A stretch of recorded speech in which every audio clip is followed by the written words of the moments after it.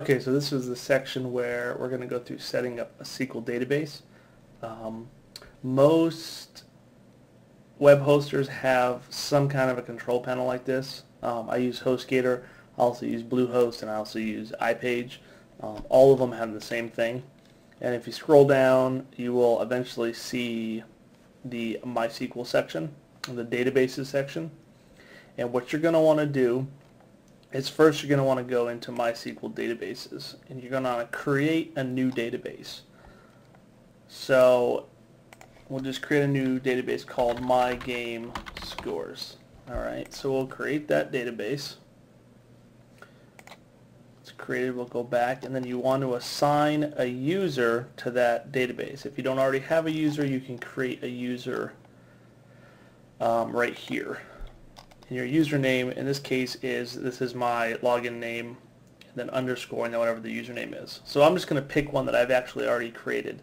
So I have one that's just uh, my handle arcaded arcaded and then I want to assign it to that new database which is my game scores.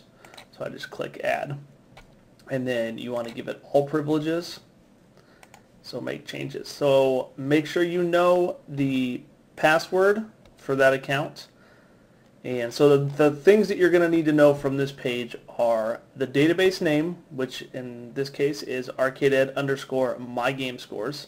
So we're just take that and copy it into a notepad just have it.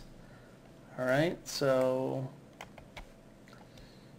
and then you need to know your username, which mine is, I'm using this one here right? Still with me?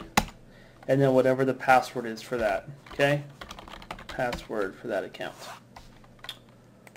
Okay, so now you have the database set up. You want to go back to the main control panel and go to back to databases and PHP My Admin. You know, this is kind of where you go and you can set up the databases. So here's all the databases I have. And here's the new one, uh, My Game Scores.